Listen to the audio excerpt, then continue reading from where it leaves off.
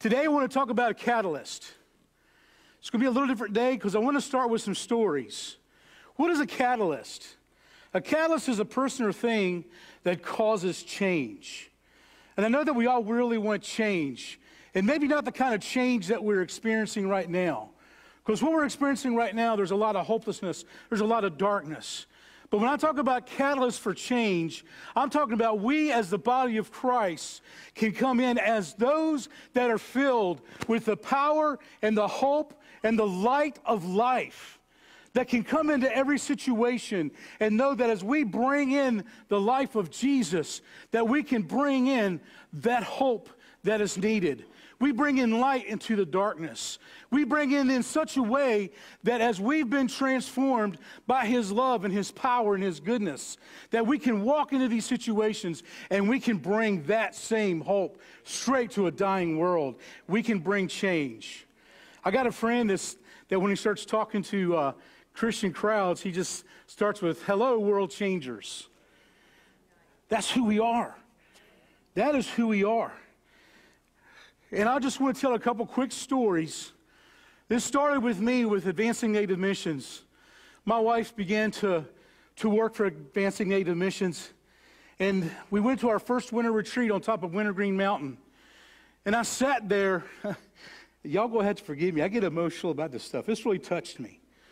I sat there for the very first time as indigenous missionaries from every continent on the face of the planet began to tell their story of how they would go in with their lives on the line, putting death right on the line every time they go out to share the gospel and listening to how they were bringing that light into the darkness. And the thing that really got me is under great persecution, these very missionaries were the most joyful people I'd ever been around in my life.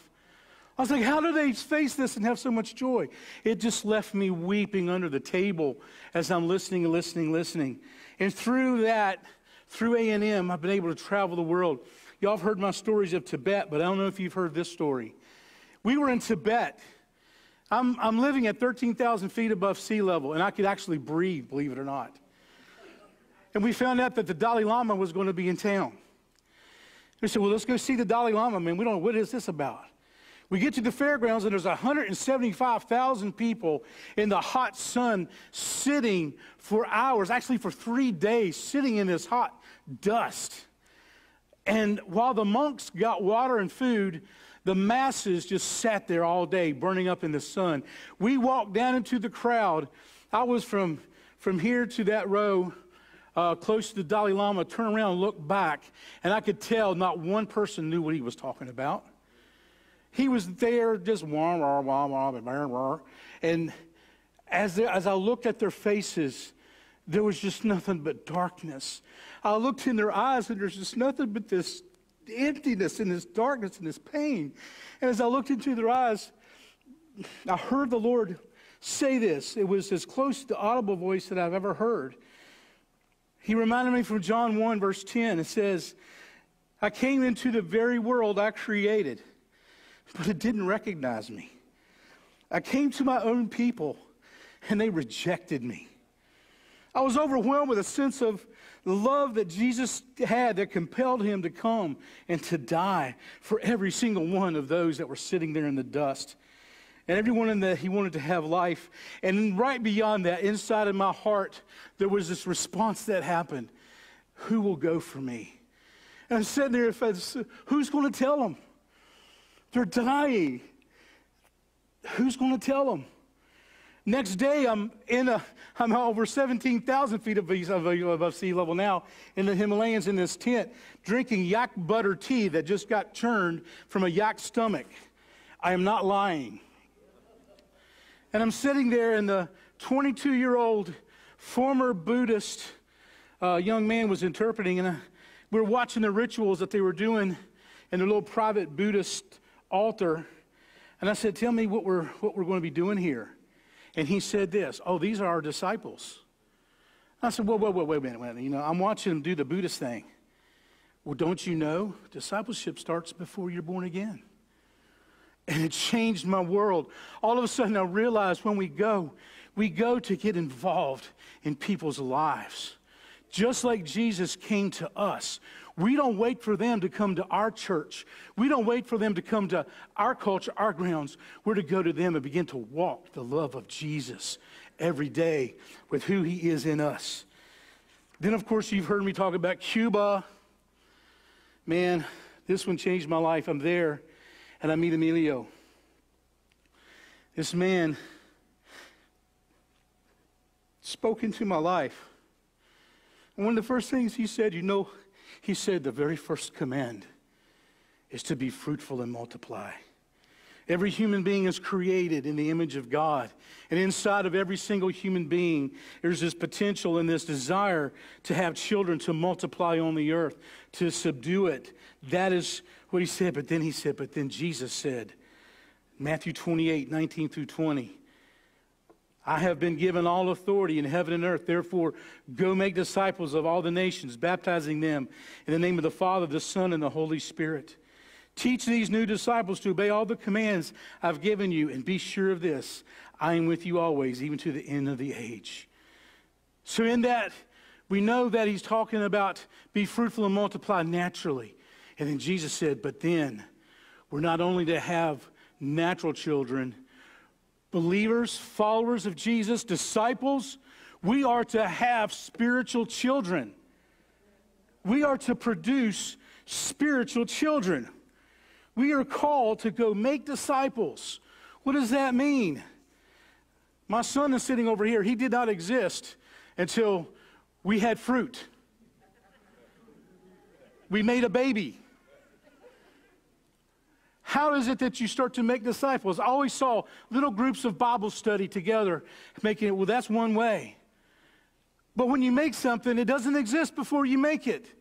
We're to go to the unbelieving world, a broken world, and begin to preach the gospel and walk with them. As they receive Jesus, we begin to nurture them, disciple them, so they become true, and send them out to their realm of influence so that they make disciples. Each believer is a catalyst to bring change to lives, to families, to households, to neighborhoods, to this whole Shenandoah Valley and beyond. It's life on life. Fruitfulness only comes out of intimacy.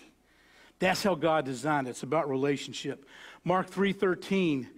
Afterward, Jesus went up on a mountainside and called to himself the men he wanted to be his close companions so they went up to him. He appointed the 12 who he named apostles.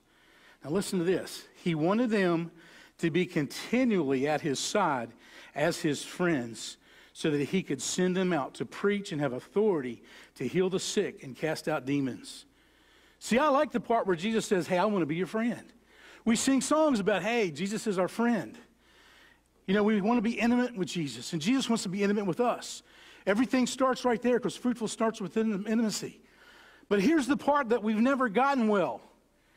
He called him to himself that they would be his friends, his constant companions. And then he said this so that the end result wasn't us sitting around like a powwow around a campfire listening to Jesus talk.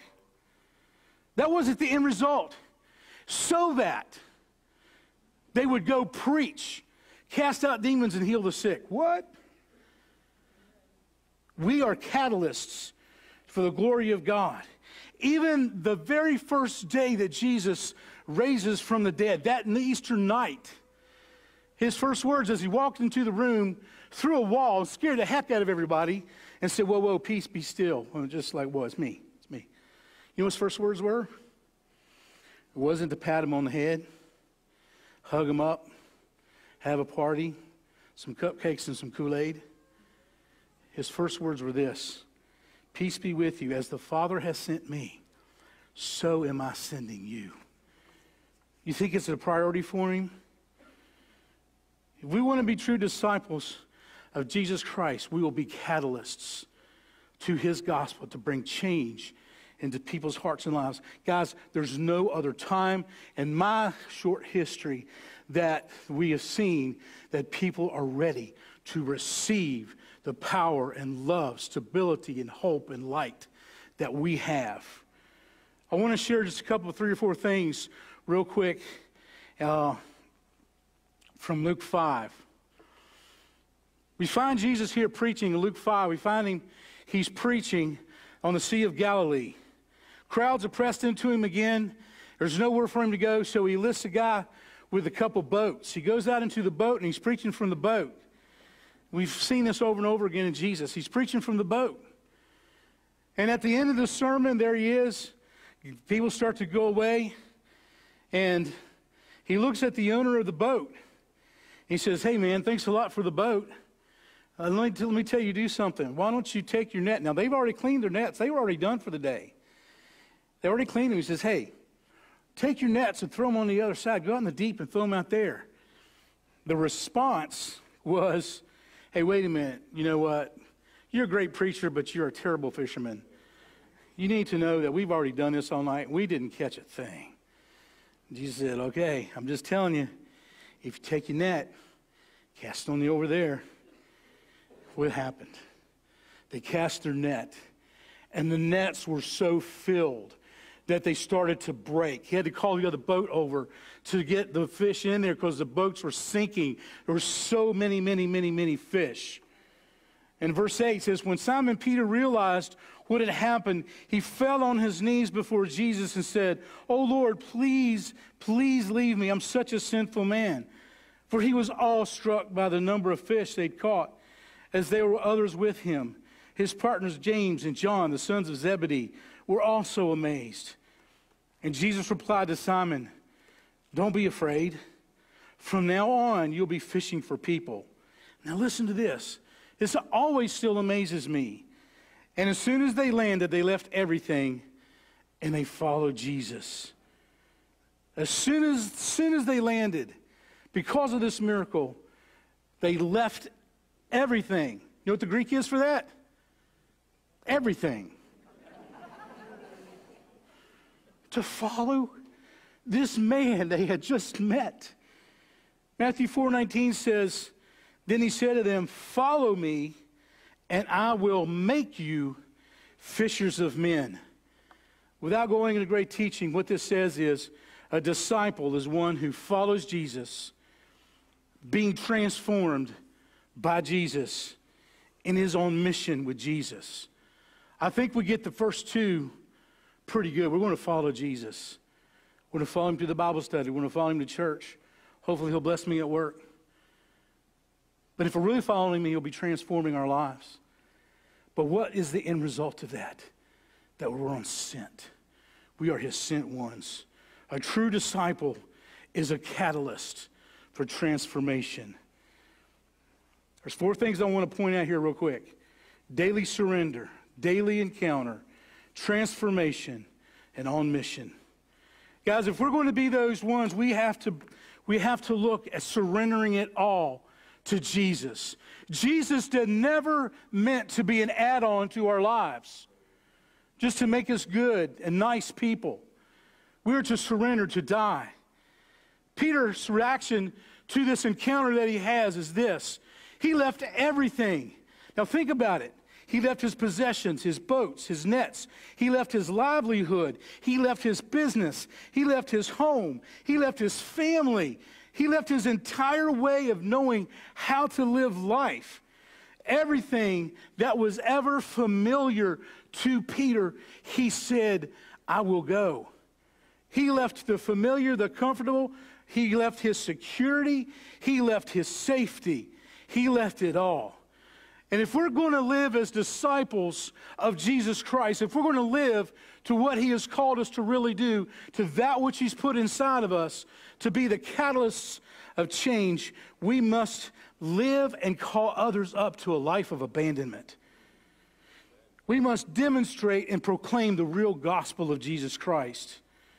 Jesus didn't just come to get us into heaven, He came to get heaven into us and the way that we walk with Him in that.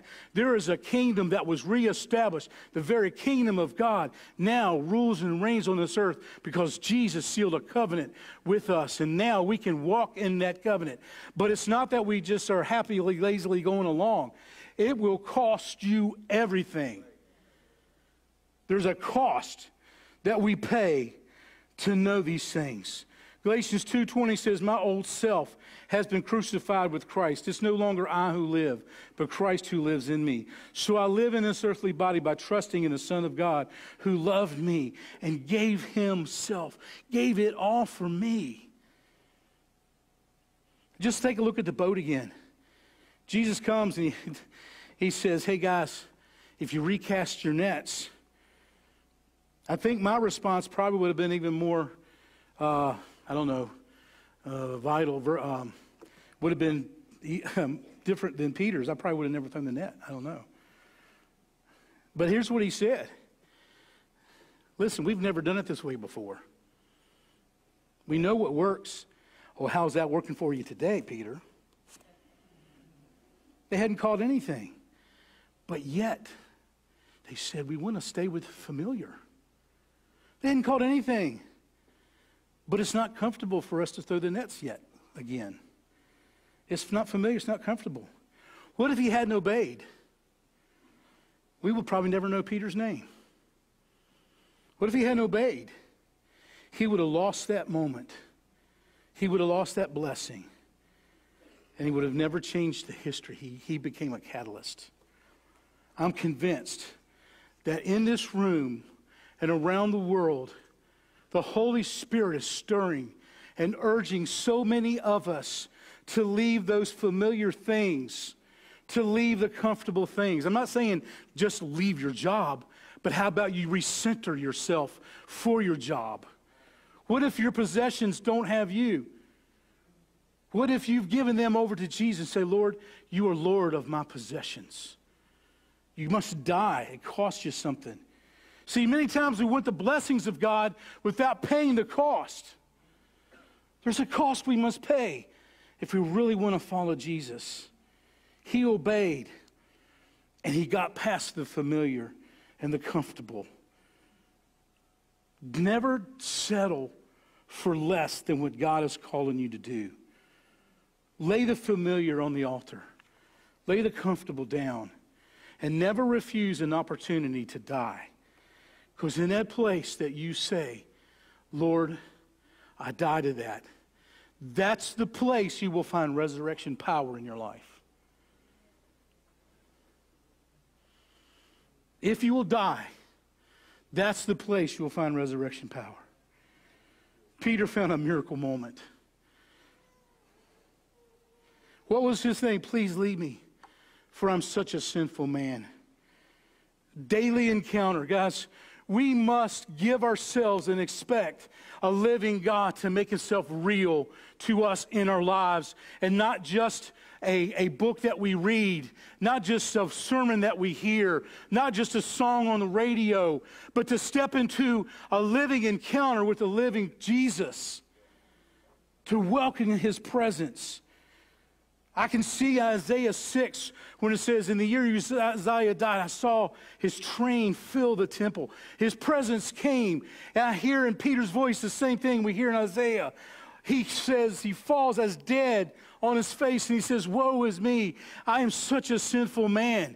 He thought he was going to die. But when God in his presence showed up, he didn't, he didn't point out his sin, he cleansed them from it all. He touched his lips and he cleansed him. And he said, Who will go for me? He said, Lord, I will go for you. He didn't wait till he went to seminary. He didn't wait till he had enough Bible scriptures memorized. He sent him out from the presence. The staging area of your life is the presence of God every day. We must give ourselves to the presence of God. Jesus came to open up a new and living way so that we can walk in his presence. We can know his presence. He invites us to abide in his presence, not the omnipresence when we know, oh, God is out there, he created everything.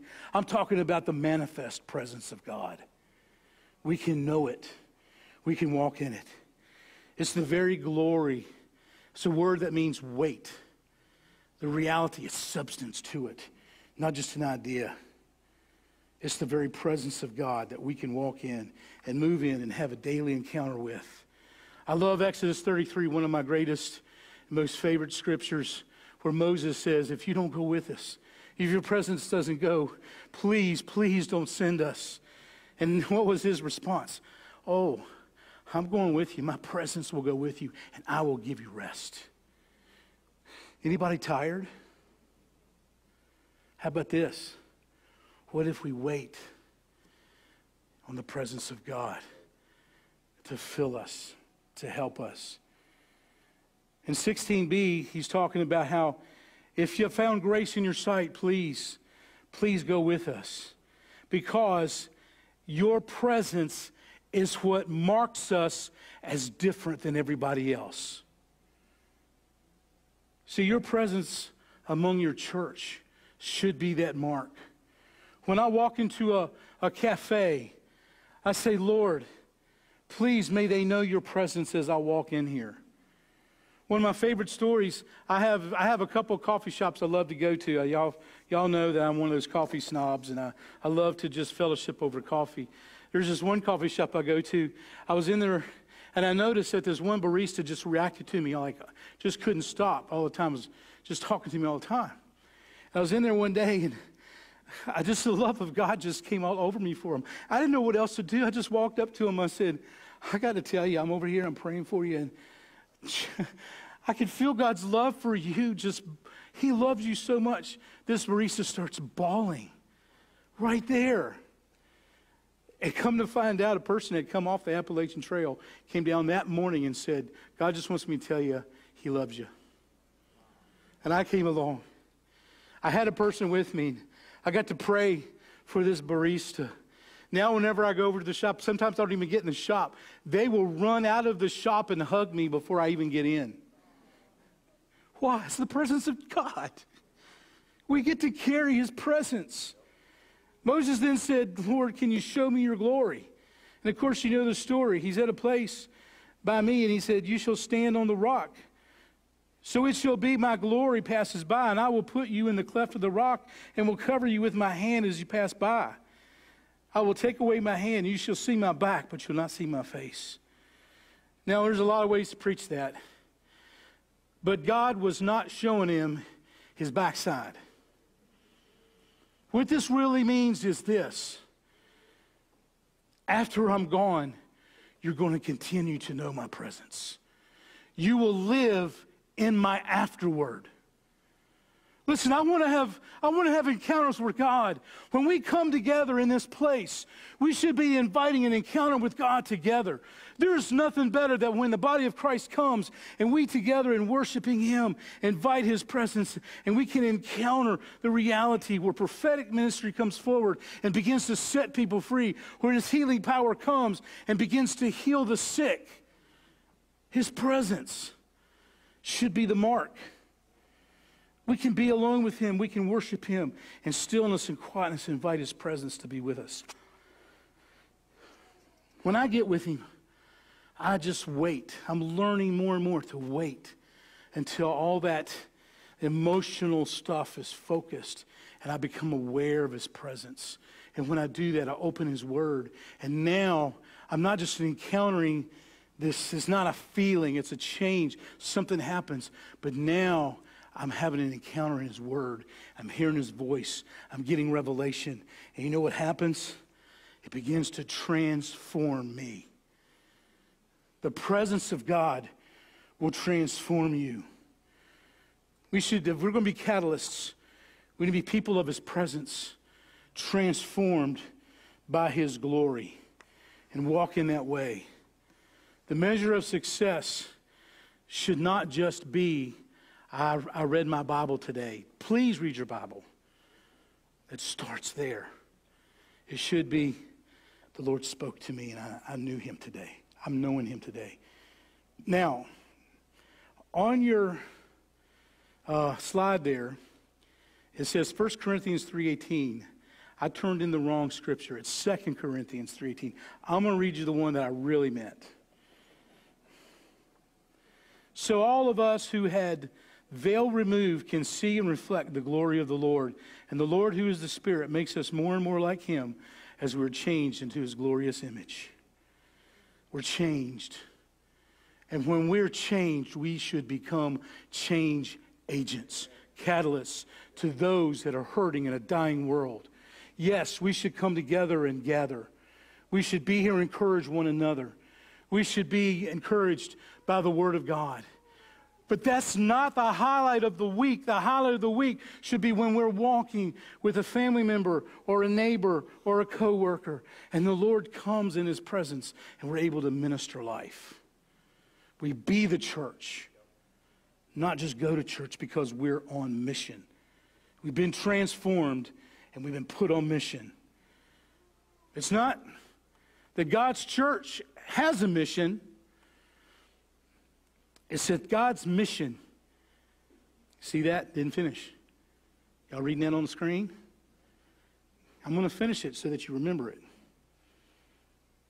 It's not that God's church has a mission, it's that God's mission has a church.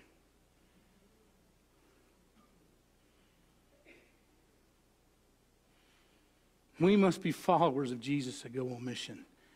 He brought them to himself that he may send them. See, Matthew, we read Matthew 28, go make disciples. Matthew starts with, Follow me, and I will make you fishers of men. And he ends with, Go make disciples. Mark starts with, Follow me, and I will make you fishers of men.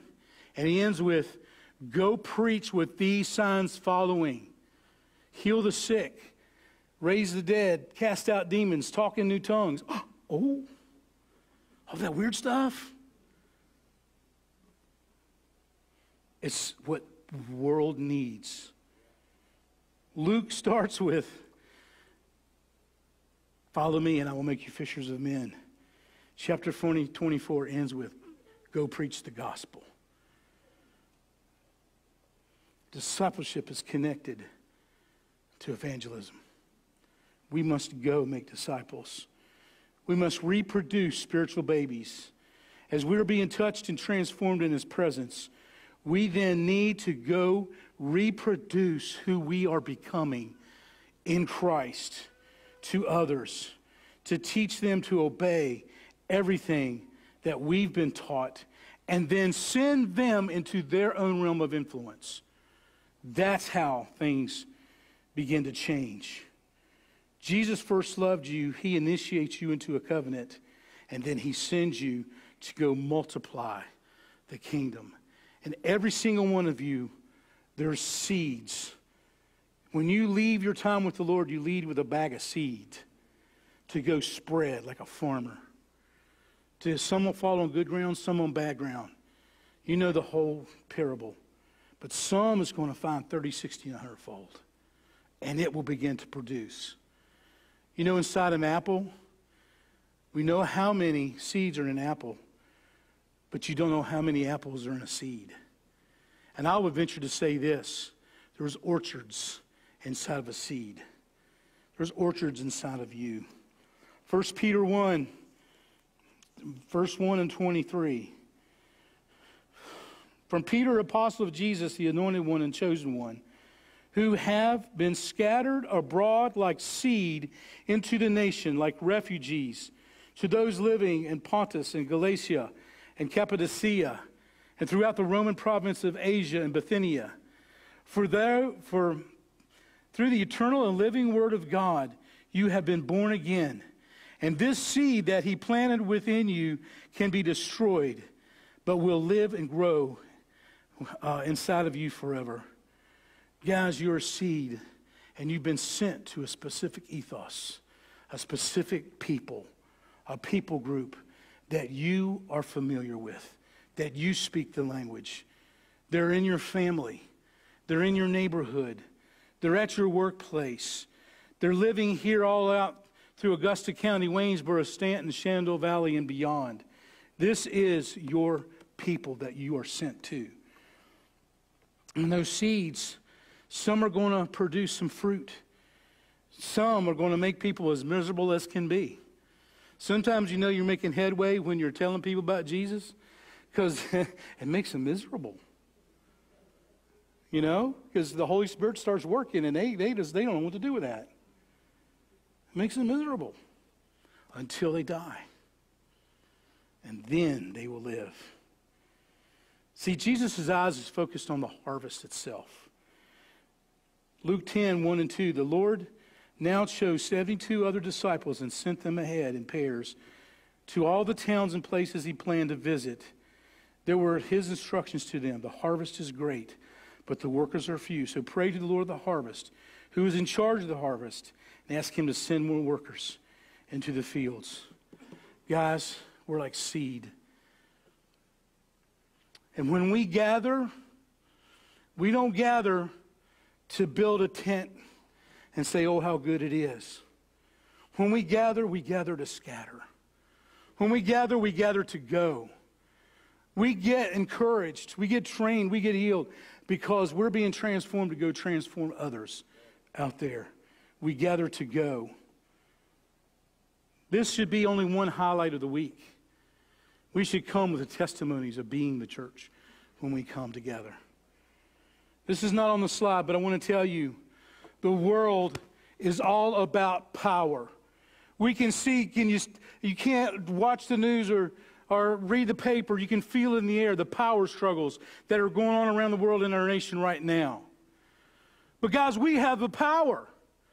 The Holy Spirit has come to dwell in us. Acts 1 8 says, And this, and when the Holy Spirit has come upon you, you shall receive power. Why? To be my witnesses throughout Jerusalem, Judea, Samaria, the ends of the earth. Guys, there is no longer time for us just to mess around. We need to be filled by the baptism of the Holy Spirit and walk in this kind of power so that we can be witnesses that He's called us to be. And when we go, it's like no longer stuck in Jerusalem. This church, this new church that was birthed that day, got stuck in Jerusalem until all of a sudden there was persecution. And when persecution came, they began to scatter. Renee and I just went to the most wonderful conference with Foursquare up and down the Atlantic District. Durant was part of putting that together. It was a crazy thing. And just the power of God that just settled upon us. We're coming back up through there, and well, we had planned on maybe stopping and seeing our son in Blacksburg. And right before you get to the Floyd exit, there's another exit, and there's a uh, gas station there. We stopped to get some gas, and I look over, there's two ladies manning a t shirt table selling t shirts. And you know me, I thought, okay, wow, here we go. This is my assignment for today, Jesus, so let's go see what happens. I look over, Renee's already over there. I said, dang, on, she already beat me to it. so I pump the gas, to go over, and she's already grabbed one of the girls and gone inside. I'm like, what in the world? It was a cold, rainy day. She goes inside and she buys them some hot chocolate and some coffee and we're over there. And she wants to buy a T-shirt to support them. Come to find out, it's a Christian ministry. And this girl's telling me her testimony. I'm like, wait, wait, wait, wait, wait, wait, wait. this is backwards. The other girl that was there had just was kind of new in her faith. And we got to pray and had a prophetic word for the, the first girl. The second girl's named Michaela. And we're praying, and then I've never seen my wife do this before. Renee looks at her and she goes, Are you baptized in the Holy Spirit? And the, the other girl goes, like, uh huh, God's got your number. And the girl goes, um, short story is by the time we were done, the girl was baptized in the Holy Spirit, speaking in tongues right there in the parking lot when we, when we drove off. Guys, we got to have these encounters every day because we're those that are scattered. We are scattered. The church in the early days scattered. And it says they went throughout all the earth beginning to preach the gospel, cast out demons, heal the sick. And many, many came to know Jesus. And it wasn't the preacher, it wasn't Paul. He wasn't even Paul yet. It was, it says in chapter 11 of Acts, ordinary men that went and they preached the gospel. Who's the ordinary men and women? It's you, that's me. Guys, we've been practicing these things on Thursday nights. It's kind of been a prototype thing that we've been going through and practicing. And some of the, the, in fact, I think everybody that has been walking with Renee and I on Thursday nights is here. And I would like Renee to come up. And I'd like my Thursday night gang to come up. Would y'all come on up here? I'm not going to embarrass you. They go, oh no, they didn't tell us this. Come on up, Chuck. Come on up, guys. Come on up. I'm bringing them up here because I want to show you what God's been doing. Guys, every time we come together, I can't tell you how incredible it is that we have these encounters with the Holy Spirit. We give ourselves to the practice of the gifts of the Holy Spirit. We apply ourselves becoming mature disciples that are making and multiplying disciples in the kingdom of God. We give ourselves to accountability to mature in Christ. We identify our realm of influence and we, we, we live sent lives into that, that realm. And we begin to make disciples that are initiating discipleship in their own realm of influence. Renee's going to tell you a couple testimonies. Man, look at this. Isn't this incredible? This is this our team, my, man. This I feel like getting team. out of the way.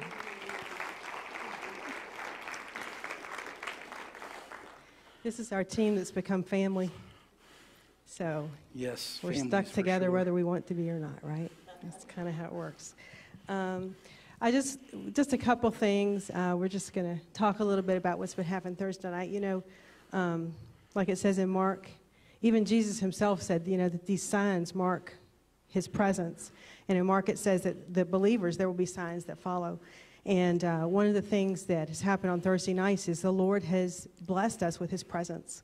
And uh, he has really shown himself that, yes, he, he likes this way of doing his business. And um, so what you see up here represents four different churches. Uh, it's a, the, the thing that's on our heart is unity in the body of Christ, not one church better than another, one church in competition with another. Uh, one of the RDs at um, ANM puts it this way. He said there's too much work out there to eliminate some of the, of the working population, right? It's just too much, there's too many people hurting and dying and sick and just out of it. Everybody needs to be on board, and we can't waste time fighting with other people that, that say they're believers. It's just a waste of time. Um, so anyway, there's four churches represented here, and I'm just going to uh, talk about a few things. These guys don't want the microphone, so I'll speak for them. Um, basically, some things that have happened. Of the people up here, three people received the baptism of the Holy Spirit within just a few weeks after us gathering for the first time. So I thought that was really cool. Um, also, we had um, quite a few significant healings. Um, there was uh, one lady who came and she had severe um, gastrointestinal issues, and they were run, getting ready to run all kinds of tests. Um, it's like we don't know exactly what it was, but they were they were scanning for things like cancers and all kinds of craziness. And um, we felt led to pray for her. We laid hands on her, and she said immediately she felt like, what was it, Chuck? It was like a wave, like a wave of God's presence. She said it was just like somebody took like a scoop and just kind of went through in, inside of her. And she left shaken, knowing that she had felt the presence of God. And when she went to the doctor, they couldn't find anything wrong with her. So, you know, there was a healing there, okay? Um, uh, there was another couple that came just to visit, and they said, listen, um, the wife was experiencing, uh, had been diagnosed with breast cancer, stage four. Um, they didn't give her much hope of survival. And they said, We just want to go somewhere where people believe that God heals and that they will pray for that. And they said, Are you that? And we're like, Come on, we'll do it. So they came over and um, we laid hands on them, and there was a number of very, um, very pointed, direct words of knowledge and uh, the gift of healing. All kinds of things happened that day. They went to the doctors, and she had already scheduled to have, I think it was a lumpectomy, something like that. They had already decided to do a, a surgery. And they got in there, and all of the, the fingers on the, the tumors that they removed had, were gone. They were like, wait a minute, the, the scans show that there should be fingers on these, and wait a minute, they're smaller than they should have been. This is not stage four. This is like, she doesn't even need chemo. We're taking the tumors out and she's done. So um, God just did some really incredible healing things in the physical realm. There's also been, I think the thing that's really meant a lot to me is the emotional healing that has taken place. We've been so proud to see each and every one of these guys growing in their gift, growing in their confidence in their gift, and um, just think. You know how sometimes being in the church, growing up in a church, you can get scars? Has anybody ever hurt anything in the church? Come on, be honest. If you're not raising your hand, you're either dead or lying. So the church can, people, you know, churches are filled with people and people hurt people. And so um, it's been really wonderful to see that the Holy Spirit in His presence, just being in His presence, has brought emotional healing to so many of us. And it's brought a, a new boldness and a new confidence, and people are stepping out and doing things that, that maybe um, they never dreamed they would have done before. Uh, every time we gather, uh, we spend a large time in worship, and um, inevitably prophetic uh, ministries begins happening just spontaneously words of wisdom words of knowledge that kind of thing. And um, so in, in short we're, we're allowing the supernatural to operate however how, whatever god wants to do we're letting him do it. And he's showing up. He's saying all i needed was a toehold. And so yeah i'm here. If you invite me i'll come. And he has um, and the cool thing about this is the missional part of it is this whole time, it's been not just allowing the Spirit to move and not just to bless us, society and family, but it's been a commissioning. And everyone that you see up here has been committed to discipling other people. There's already three other groups that have sprung up out of this group where people are starting their own discipleship group. And um, we look for even more of that to happen. And they're, they're, they're training their people to disciple people, to disciple people, to disciple people. So it's, it's a, what we're looking at is a multiplication effect. You know, if you wait for the pastor to do everything, you're going to get addition. Yep. But if you train people to train people to train people to disciple people to disciple people to disciple people, now you have multiplication. And you have an exponential growth in the body of Christ. Thank you, guys. So, as they're taking their seats, we have an announcement to make. I told you this was going to be a different day. It's been working in my heart for quite a while. And I wish Pastor Brandon was actually present with us this morning. Because you guys, with Pastor Brandon, are going to be sending Renee and I out to be missionaries to the Shenandoah Valley.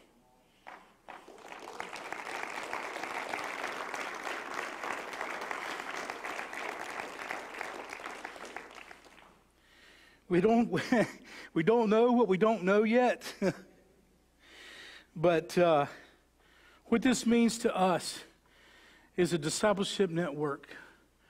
Just like we're seeing happening on Thursday nights, that we're seeing God move in great ways and we're beginning to multiply disciples. And the end results of that has to be multiplying churches. So we want to serve as catalysts. We want to be those spirit filled, emboldened catalysts to serve as catalysts of transformation within the Shenandoah Valley to multiply disciples who will multiply churches. Now, you see that plant up there? I was over here on my left was Julie, beautiful Julie. She's our secret weapon. She's so sweet, but then she'll sneak up on you, and next thing you know, you've got all Jesus has for you right there. Kingdom communities are churches. We encounter the living God in all that we do. We enjoy the community of leaders as we practice the gifts of the Spirit. We grow together in love and power of God. We multiply disciples we multiply churches and we, mo- we mobilize followers into the harvest field. So when we gather, we gather to go. Go back to that picture real quick. Julie sent me this picture. Success does not look like butts and seats to us. Success to us looks like disciples that begin to make other disciples, that begin to grow out of that and begin to start their own groups of disciple making that will begin their own groups of disciple making. They'll begin their own groups of disciple making that will have churches. Chuck has already planted the first church that we've seen for a while in Staunton. And it's, it's awesome. I love going over there. they are rocking it. That's what success looks like. Isn't it a mess? It'd be a beautiful, beautiful mess. So here's what I'd like to do I'd like to tell Pastor Brandon what's going on. Wouldn't that be cool? I think he, I think he would like to know, don't you? So I am going to call Pastor Brandon. I know, right?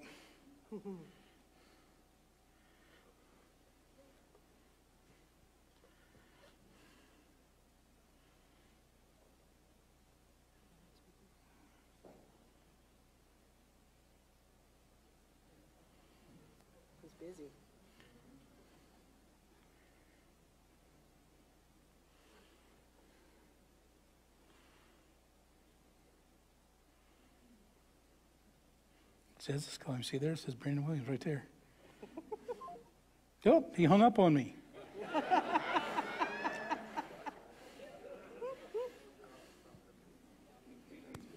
yeah. You guys are so patient. Has this been all right? There we go. Hey Shane, what are you doing? Uh, I just gave some news to the congregation, and I thought you might want to know.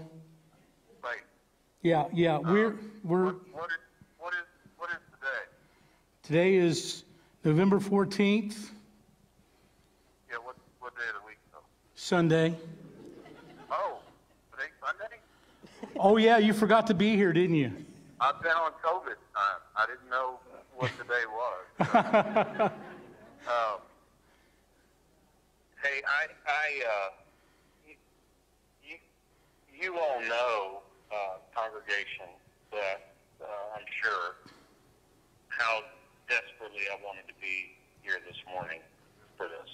Um, and when I realized that uh, I've had COVID for the last six days and I'll be out for a while longer, um, I uh, I told Shane I, I thought it'd be best if I just talked by phone and shared a few things with you, uh, spoke some things over Shane, and um, just prayed. So Shane has uh, faithfully served with me for 19 years, which is really pretty well unheard of. It's, it's a remarkable amount of time um, for a pastor, lead pastor, and associate pastor together. And our relationship, I, I believe, has been remarkably unique uh, in, in terms of a lead pastor and an associate. And I've always made it clear to Shane that I want to know what he's thinking. I want to know how God's leading him.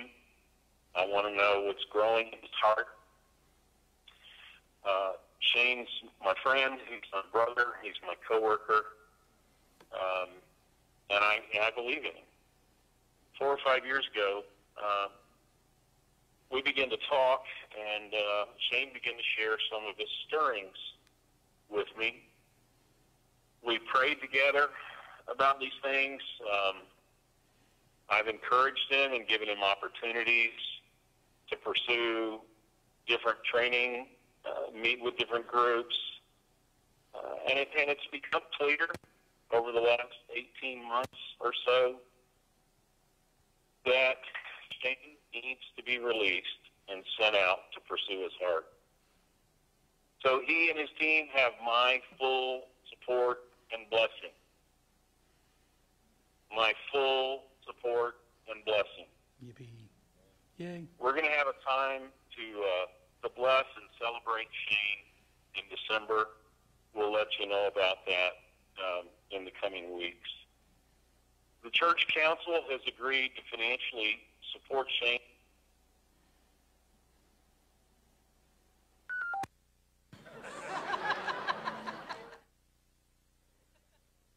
That's all we needed to know, right?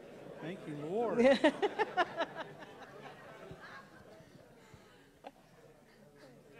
Lunch is on me now.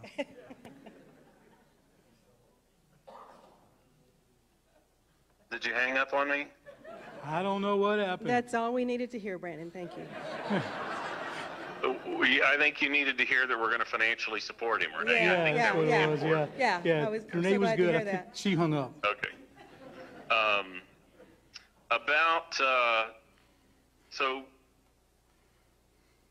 I just want to speak to Shane first of all, and Shane, I've told you these things privately countless times, but I, I want to say this in front of the congregation. I esteem you. I value. I value you. I honor you. I respect you. I love you. I recognize the gifts in you, and I support and believe in the direction God is leading you for this season. Wow. To be released to fulfill what's in your heart because you faithfully served this congregation and served alongside me for almost 19 years, and I'm incredibly grateful for that. Thank you. Love you Now, too. I want to commend you to the grace of God, and I want to commend you to pursue your calling in this season. After listening to you preach this morning, I would have to say that's the most concise, passionate, articulate way you've ever communicated what is in your heart, brother.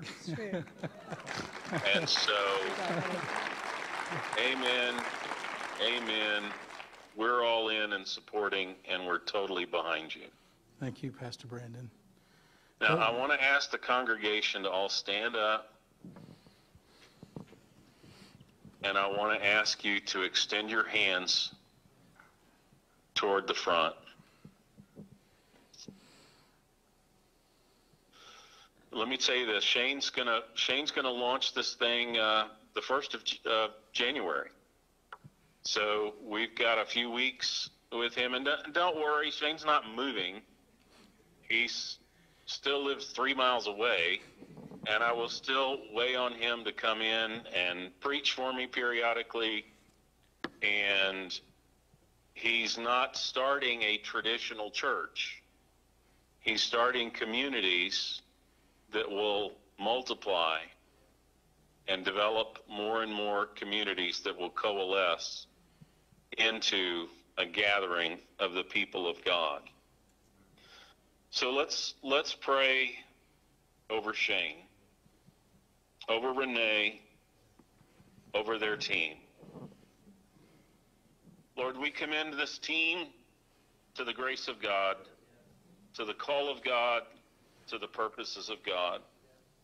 We thank you for this season of preparation that has gone before, this season of learning and discovery, and how you have led through this season, how you have directed through this season, how you have uh, made it very clear what your purpose and your desire is for this new season.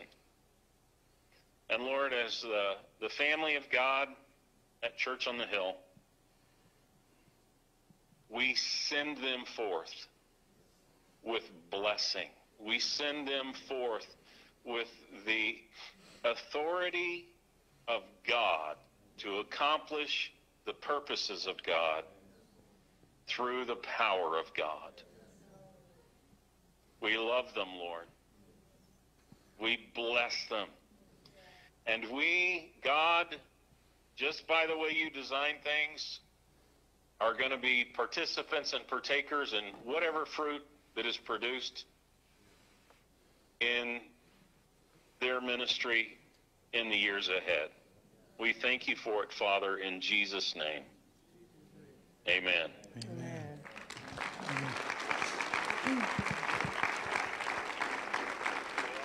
I love you, Shane. You know that. I love you, church family. I will be with you next Sunday, Lord willing. And uh, Shane will be right there, so he's not going anywhere. And um, we'll we'll continue to uh, unfold what the plan is going to look like for him as we move forward. God bless you all. Thank you.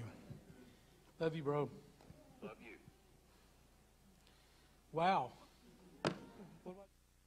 Let's tell them how they can help. Well, you guys can pray for us. Um, if you want to give into the ministry, you can give it through Church on the Hill. Note Shane, Discipleship Network. And guys, you know, we'll be kind of laying stuff out as as the days come together here in the next few weeks. So, love y'all so much. You guys have no idea how hard it's been for me not to cry through this whole thing because I love y'all so much. Oh, we have a word from Bob. That was from the Lord, yeah. I'll let you to judge that. I particularly wanted to speak to the team. Shane and Renee are catalysts in the body of Christ. Paul, when he was wanting to go to Rome, he wrote in Romans, he said, I long to be, come to be with you that I might impart to you a spiritual gift. To you that are in the team, whether you had catalytic tendencies before, Shane has imparted to you by the Spirit a catalytic gift and impartation. You are seeds now, and you're going to be planted and you're going to produce. And as he said earlier, there's no way to tell how many apples are in your lives. And to the rest of you, you may go, ah, you know, that's great. Go, go to it. God has dropped some seed into you. And you can tend to it or you can ignore it. But God, by His Spirit, even today, I thought that was so powerful what Pastor Brandon said.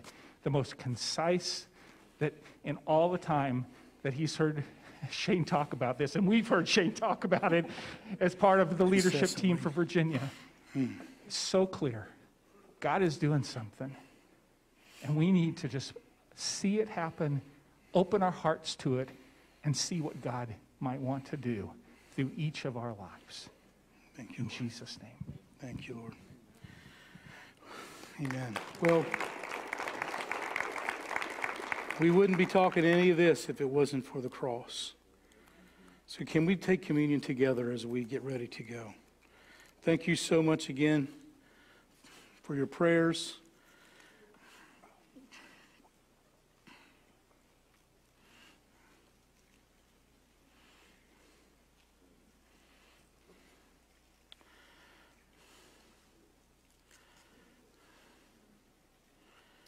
Oh, while you guys are unpacking, let me just real quick, real quick, Lynn. I don't know how to close this thing. It keeps happening here. This is for all of us. Uh, I've already given this word to Shane, but Isaiah 42, verse 8 says, I am the Lord, that is my name. I will not give my glory to another. Behold, the former things have come to pass. Now I declare new things. Before they come to pass, I will tell them to you. Sing to the Lord a new song, and that's a new sound. And it's a new sound of worship, it's a new sound of healing, it's a new sound of deliverance, and it's a new sound of joy. But the scripture I got for Shane was out of Isaiah 11, and it says, verse 2 The Spirit of the Lord will rest on him, the Spirit of wisdom, and, and Renee. The Spirit of the Lord will rest on them, the Spirit of wisdom and of understanding, the Spirit of counsel and of power, the Spirit of knowledge and of the fear of the Lord. And he will delight, they will delight in the fear of the Lord. Amen. Thank you. So let's right now, let's just begin to receive. Lord, we right now thank you. Lord, as we've talked today, Lord, it all started because you loved us so much that you came and you eliminated the obstacle that has kept us from knowing you, the sin. You allowed the Father to place it on you taking our sin upon yourself and dying as us and raising to new life that we would have resurrection life. So, Lord, as we take of this, this wafer, Lord, we thank you. Lord, for your body that was broken for us. As we take this cup, we thank you for your blood that was shed for us, that we may live. We thank you for it. Let's partake in Jesus' name.